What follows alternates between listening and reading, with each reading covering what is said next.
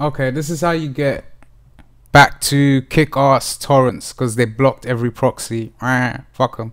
Look, you go to see they blocked them all.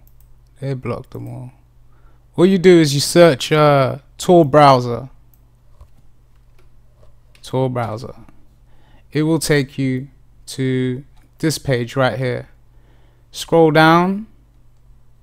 Uh, not experimental. Scroll down to here where it says stable browser. Pick your operating system. I picked that one obviously because that's what I've got. You will download this little installer package. Click that, install it straight away. Um, when the installer options come up, just pick the first um, option. You don't need to configure anything, just connect straight away. When you connect, you will, it will do this. Uh, like it will put this little folder on your desktop. Go to start browser.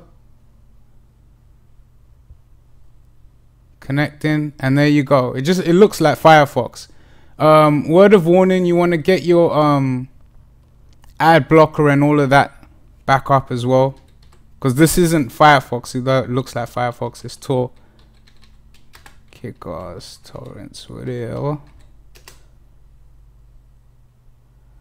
It does a little search. There we go, kickass.to.eu, whatever one you like.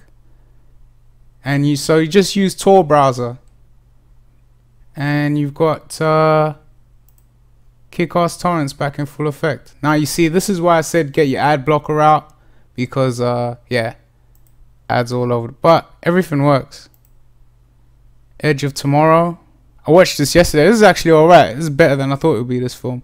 But anyway, um Kickass torrents in full effect on your Tor on your Tor browser. Tor browser. Bam. Anyway, uh, peace.